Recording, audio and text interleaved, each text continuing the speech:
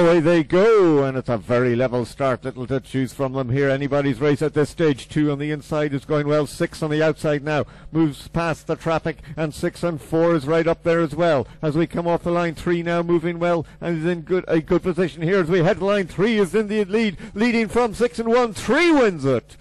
Close for second. Kelsey Zulu at the end of a race that could have been won by anyone. 1927, the winning time.